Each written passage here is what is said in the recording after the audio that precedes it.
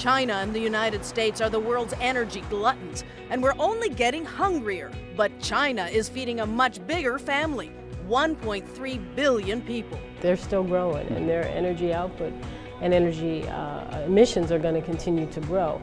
Energy Now takes you to China for a look at how its people are handling the newfound challenges of wealth and waste. Driving, traveling by train, even walking, they all produce precious kinetic energy. At some point, you know, it'll be illegal to waste energy as heat. Waste no more. A look at some innovative ways to capture and use that lost energy. And opening the emergency spigots? With fears of gasoline prices potentially topping $4, the White House is being urged to dip into the country's oil reserves. Is it time? This is Energy Now.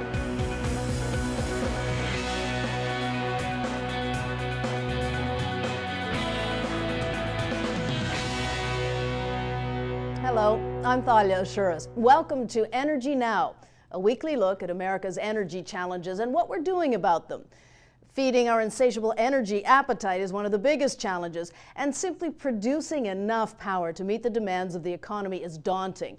The U.S. consumes about one fifth of the world's total energy. But China has overtaken us and is now the world's biggest energy user. Its taste for power is very different than ours, though. So are the consequences. Energy Now chief correspondent Tyler Suiters traveled to China, and he joins us to explain why that is. Tyler? Well, Thalia, not only are these the world's biggest energy users, China and the U.S. are also the world's biggest carbon emitters. You put these two together, and they account for more than 40% of the world's total. But the reasons we use all that energy and release all those emissions, they're as different as our ways of life. I shadowed one commuter in Beijing to get a taste of why that is as part of Energy Now's continuing look at the China factor. Her workday probably starts a lot like yours, even if you don't carry a purse. At 8 o'clock, Wang Yue Fei is out the door. She's a sales rep in Beijing, working for Johnson & Johnson. She likes her apartment, she enjoys her job, and this might sound familiar, she hates her daily commute even though Wang has it better than many of her fellow Beijingers. And today, she invited me along for the ride. Many people have two hours, more than two hours, three hours to get to work. Each way. From what I saw in China, Wang is a typical city dweller. Small apartment, lots of walking, lots of public transportation, not much driving. I mean, yeah, there are 4 million cars crammed into Beijing's roads, but remember, this city is home to 22 million people. So, to put it another way, Wang, a typical Chinese, would be an atypical American. Okay, that needs a little explanation and some perspective as well. China and the US, we're neck and neck in terms of the carbon emissions we crank out. But China's annual carbon emissions cover a population of 1.3 billion people. The U.S. needs only a little more than 300 million to churn out about the same amount of pollution. When we're talking about the average energy consumption per capita in China, it's still relatively low compared with other developed countries. She means the United States, of course. Yeah, we love our big cars, and our AC, and our widescreen TVs. And that affection means to power all our stuff, we burn lots of fossil fuels, especially coal for electricity, and of course, oil. But here's the catch as the Chinese get wealthier, more of them are starting to live like Americans. China's burning through more coal and oil every single year, and that has EPA Administrator Lisa Jackson concerned. I spoke with her in Beijing. Because of the rate of their development, they're still growing, and their energy output and energy uh, emissions are going to continue to grow, mm-hmm. even though compared to the United States, they use a lot less energy per person. But using less energy, well, I found out that takes a lot of energy. It's 8:15, and I want you to keep an eye on that subway worker in the yellow jacket. You see her there, lending a helping hand. An everyday reality with so many Chinese competing for so few subway seats. Eventually, we cram our way on board as well. Wang said, this is not the worst time. It actually gets more crowded than this. That's because the Chinese are rushing from rural areas to urban centers, moving to big cities to find work. They're part of the biggest mass migration in human history. as many as 20 million people moving every single year. This is a huge challenge for them in so many ways mm-hmm. that, you know, is, are they thinking about emissions when they're thinking about that? I, I don't think so. But maybe they should because uh, a Chinese moves from the interior of the country to one of these mega cities and his or her carbon emissions skyrocket. Absolutely. When Chinese come to the city, they become a bit more like us Americans. They get access to air conditioning, cars, and satellite TV, part of the reason China's emission levels are rising. The other reason? In the US, most of our carbon emissions come from us, people, our lifestyles. The rest come from industry, making stuff. In China, it's pretty much the opposite.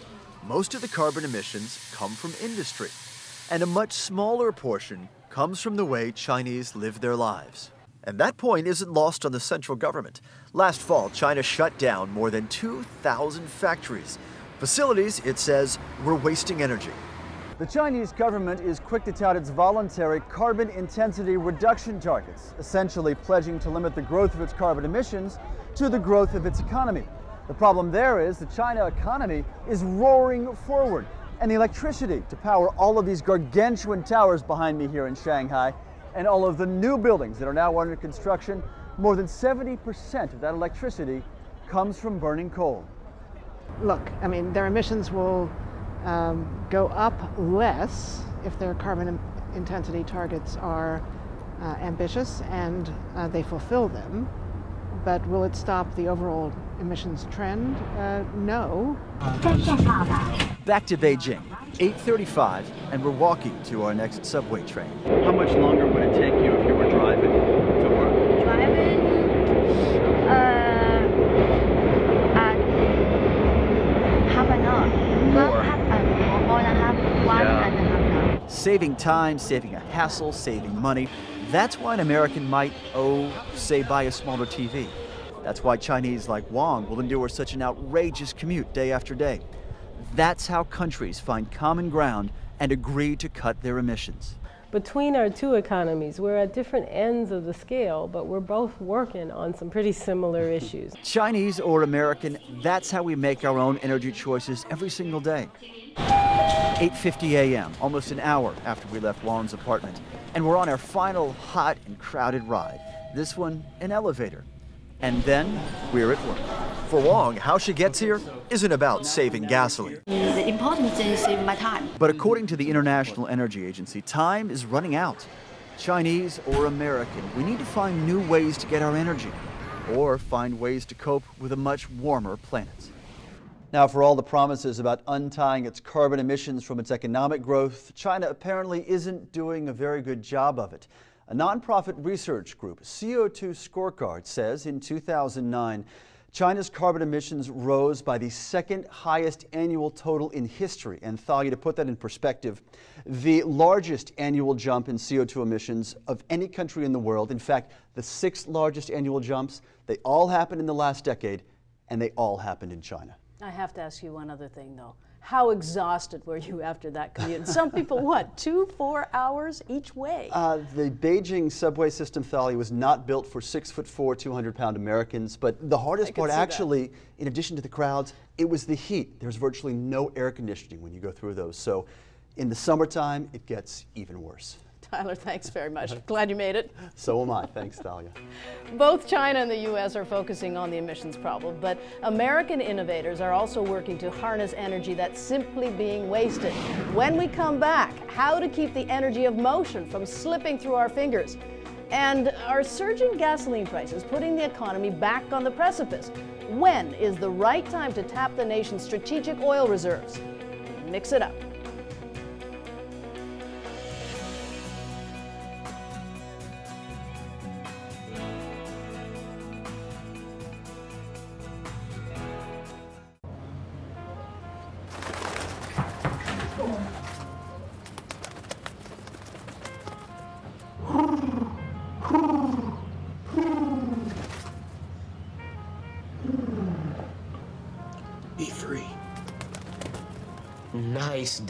Nice, Dad. Nice, Dad. Charles. Nice, Dad. You don't have to be perfect to be a perfect parent. There are thousands of siblings in foster care who'll take you just as you are. Whether it's Middle East instability fueled by Libya's civil strife or speculators projecting coming crises, gas prices are surging. In fact, the Energy Department this week predicted an average $3.70 at the pump this summer. Some scoff at that low number. No one really knows, but the pressing question is is it time to hit the emergency button? This week, the president's chief of staff, William Daley, said that all options are on the table, including siphoning from the strategic petroleum reserves, our emergency stockpile of more than 700 million barrels of oil. Hurricane Katrina in 2005 was the last time that happened dipping into the stockpiles? Is it a knee jerk political reaction or keeping the economy from dipping back into the tank? Joining us to talk about it on the mix are two Energy Now contributors Tyson Slocum, Policy Director from the consumer advocacy group Public Citizen, and Daniel Weiss, a senior fellow with the left leaning think tank Center for American Progress. So let's, gentlemen, thanks for being here and let's jump right into this. Is this an emergency situation? The president can dip into the reserves. Is it time to do it, Dan? It is getting there. We believe that the president ought to take a small portion of oil from our full reserves when either oil hits $125 a barrel or gasoline hits $4 a gallon. Those prices are going to inflict real pain on middle and low income American families. And in past uh, selling of our reserve oil, it has effectively reduced the price. You know, our economy, our economic recovery is still in its shoots. And this uh, high oil prices could smother that growth before it has a chance to flower. Tyson, take that on. I'm going to respectfully disagree. I think the, the fact is is that we're not in a supply demand crunch. Um, we've got record levels of commercial inventories. We've got more than a billion barrels of crude oil and refined products in storage. Combine that with the 726 million barrels of oil in the Strategic Petroleum Reserve, and we've got 1.8 uh, billion uh, barrels of product in the United States we, there are not physical shortages uh, around the globe. The Saudis are able to come in and step in um, uh, for the shortage of, of Libyan exports. But the president ought to be talking about the real solutions uh, in the short term that are going to get us there, which is addressing the role that speculation has in uh, hyping up this market because there's no question that we're, but we're, we're you're, saying, you're saying government jump in too. Tyson, if you want to go after speculators, this is the best way to burst the speculative bubble is for the government to say, fine, we're going to put some oil in the market, which will create uncertainty and undo the expectation that the oil price is going to continue to rise as instability in the Middle East increases, which could, unfortunately or, or not, affect Iran, Saudi Arabia, and other much larger producers than Libya or Egypt. And so it's one way, you know, if you read, uh, analysts have been saying this price hike is due to fear, psychology. One way to address that is taking a big chunk of oil, putting it in the market once we reach that, reach that certain threshold. But, but Tyson, is it, is it the government's job to act here, to jump into the market? And, and not, not in this case, because throwing this excess crude into an already oversupplied market, I don't think is going to bring prices but down. But if the crisis in, if the crisis increases to four dollars, uh, for example, it, only only if there's an actual supply shortage. If we see unrest move into Riyadh, Saudi Arabia, that would really threaten global supplies. Then yes. But the fact is, right now.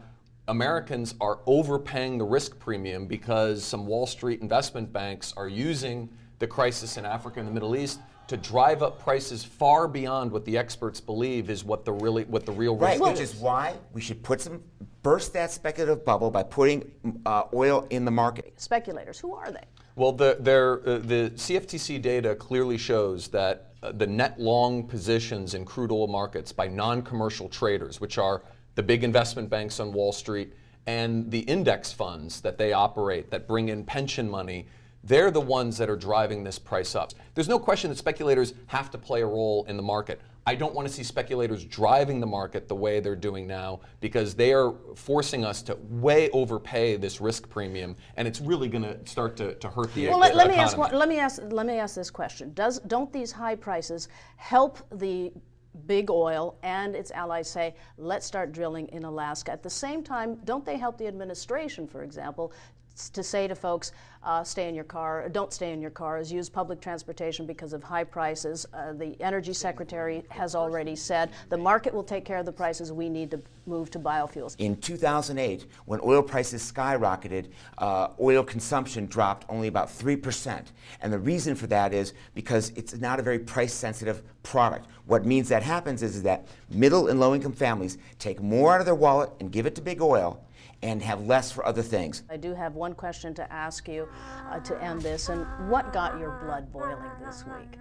Dan, well, what got, other than this? What got my blood boiling this week is that the House Republican budget that passed would actually make us more dependent on foreign oil by cutting money for research into advanced batteries for cars, by cutting money for transit, by cutting money for assistance to domestic auto manufacturers to build cleaner cars. At a time when oil prices are rising and it's hurting middle and low income Americans, they're cutting money that would help us reduce our oil use and reduce the impact of these volatile prices. Tyson? What got my blood boiling is the embarrassing flip flop by, by Fred Upton, the chairman of the House uh, Energy and Commerce Committee. Uh, he, in the past, has clearly articulated that the science behind climate change is real, that it's man made, and that we have to aggressively go after it. And now that uh, his party is swept into power, he is bowing to a very radical fringe within the party and it's an embarrassment. It's an embarrassment to the country, and it's an embarrassment to him. He's a lot smarter than this. I think your blood is boiling. Gentlemen, both of you, thanks very much. We'll be talking again. You'll keep talking, I know. Thank you, Thalia. Thanks. and with today's gas prices, think about this. Only about 15% of that liquid gold you pour into your gas tank actually spins your wheels. Vehicles are so inefficient, the rest is lost as heat or friction, for example. Other modes of transportation are just as wasteful. But that is starting to change. Energy Now's Josh Zepps discovered new technologies that capture the wasted power instead in this Energy Next. Have you ever been on a train and accidentally spilled your coffee on a total stranger? I know I have. See, it happens because the train moves around in all kinds of ways that have nothing to do with actually getting you where you want to go. But imagine if we could harness all this kinetic energy and use it to light the train's lights and maybe even to brew more coffee to throw on yet more strangers. Do you like that idea? Huh? Kinetic energy is the energy of motion. We generate a lot of it in this hectic modern world, and almost all of it goes to waste. But a new class of crafty kinetic capturers is changing that. Philadelphia's metro system is run by SEPTA, the Southeastern Pennsylvania Transportation Authority. Chief Power Officer Andrew Gillespie wanted to save a buck on the $12 million in electricity his trains guzzle every year, so he modified the train's brakes to generate electricity as they slow down. We probably use 30% of the regenerate power. The existing trains can use it to power their lights, uh, heaters, and such. Doors are closing. What we want to do now is take that energy, uh, which is electricity, send it back through the power distribution system, which supplied the power to the train in the first place, and store it. That's the key, storing it. See, normally when you capture a train's kinetic energy, you can either use it to power onboard systems, or feed it back into the supply system to be sucked up by another train that needs it in that same split second. But if it isn't used instantly, it's gone. So, in this cavernous room at the Letterly Power substation, SEPTA is installing an enormous 1,000 kilowatt battery to store the energy harvested from its braking trains. Whenever it's needed, that stored energy can be sent to other trains, reducing energy waste, reducing costs, and reducing emissions. Is this kind of technology going to be widespread through transit systems in the United States? Oh, I'm sure it will be. I mean, we're not the only ones who are looking at this. Um, it's a technology that's um, just in its infancy, but there's so much power that's not being captured right now. Now, stopping and starting are not the only ways we waste kinetic energy. Anytime you move fast over an unsmooth surface, you bounce up and down. Vehicles are bumpy. It's why shock absorbers were invented. And now they're being reinvented by a pair of kinetically inspired MIT grads at Levant Power in Massachusetts. Essentially, what we uh, do is we generate electricity from bumps in the road. We use electricity for fuel economy gains. So the system works by actually shuttling fluid through a hydraulic motor, which spins a generator. So as it moves up and down, as your wheel moves up and down, it spins an electric generator, and that generates electricity. Electricity that can power the vehicle's headlights, stereo, GPS, butt warmer in the seat if you're lucky, all things that would ordinarily drain power from the engine. They call this shock absorber GenShock, and its output ranges from tens of watts to several kilowatts. That translates to gas savings of 1 to 5%, depending on the type of vehicle and terrain. So this is mimicking the motion of a road. As you drive faster and go over all kinds of potholes, this is generating power, which is going to a bank of lights behind me that you can see flashing. When the car's going really fast, you can almost have a rave. Of course, the heavier the vehicles, the bigger the energy return. So Levant is getting a lot of interest from heavy fleet operations. So we're working with the U.S. Army, and they actually they shipped us out a uh, military Humvee in 1152 that we're actually doing a uh, installation on. So we have the Humvee out back. You have a Humvee? Yeah. Here? Yep. We, wow.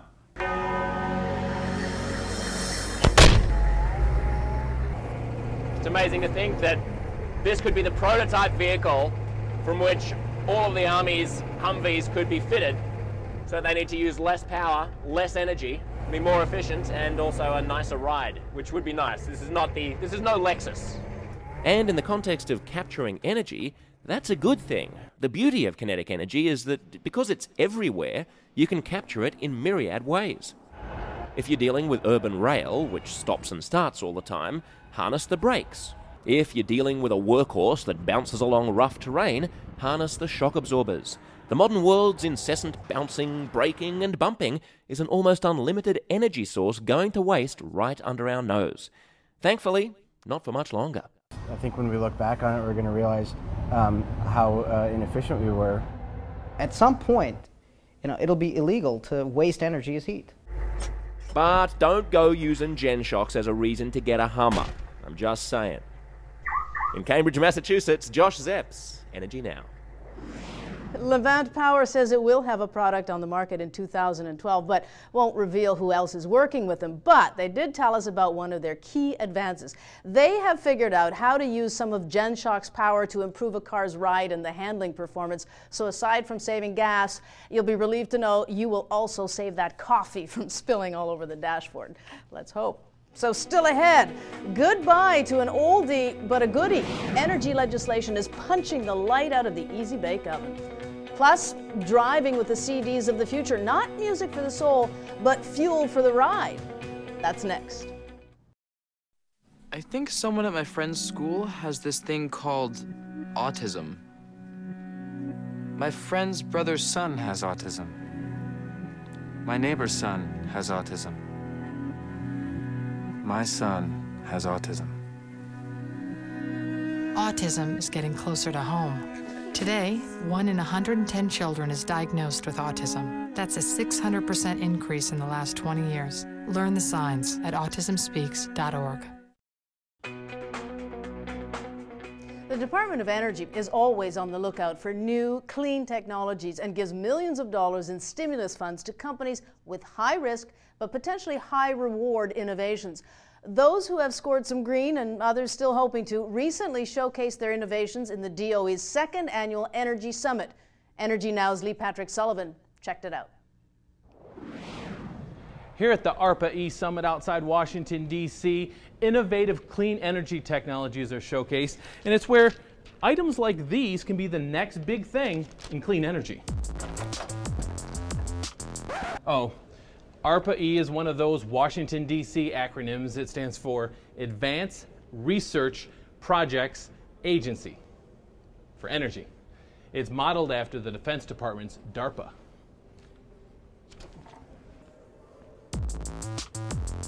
The idea is for the government to help spur innovation on projects that would normally not get funding. Out of the box thinking that could brew up and change the world. Think of it as the ultimate science fair, but instead of winning a blue ribbon, you could actually win millions of dollars in Department of Energy funding. Nearly $400 million has already been given out to fund more than 120 projects, like storing hydrogen on a compact disc. Instead of a gas tank that's a high pressure tank of hydrogen or of gasoline, what we've got is a no pressure set of CD discs in the back of your car. The idea here is instead of plugging in your electric car, these discs can release hydrogen using a laser, the same technology that's in your home CD player. The hydrogen creates electricity and that charges your battery. Thinking of ways to use less energy are also big hits at ARPA-E. Take this thin film being developed by ITN Energy Systems. When these devices are finished and placed onto windows, if you apply a voltage to them, they can change from being transparent to being opaque. The idea here is to let in the sun during the winter to heat the building, block it out in the summer to help cool it. I know, I know, drapes do the same thing, but imagine these things in a skyscraper, and every window tinting at the same time with a flick of a switch. And a lot of these technologies have been around for a while, like the thermal photovoltaic cell.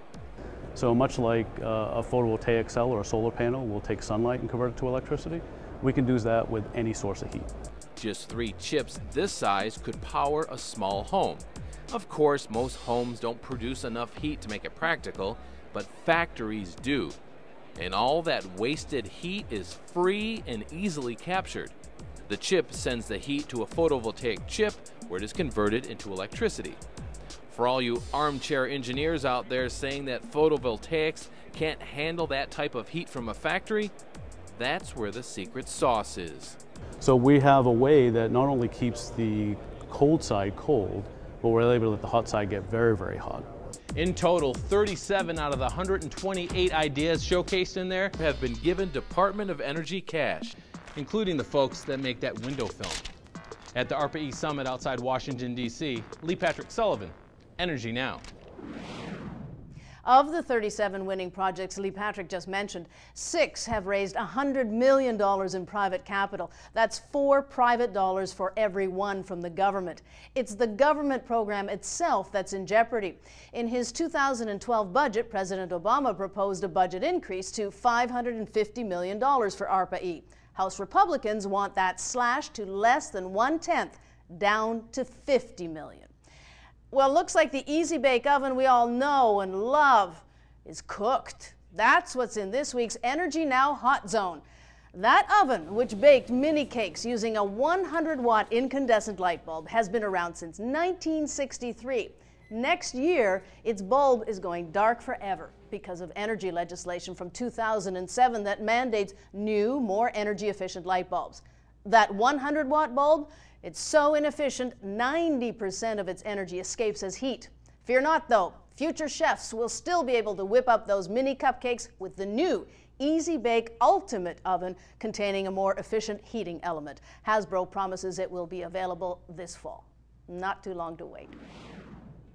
That's it for this week's Energy Now. You can also watch our mixed panelists continue their conversation in our green room online at energynow.com. If you have any questions for upcoming guests, do let us know. Upload your video questions or remarks to our YouTube channel, Energy Now News. Remember, give us your name and where you're from, and keep the remarks short, if you will, less than 30 seconds. You can also friend us on Facebook, search Energy Now News. Join our discussion pages or follow us on Twitter at Energy Now News. See you next week.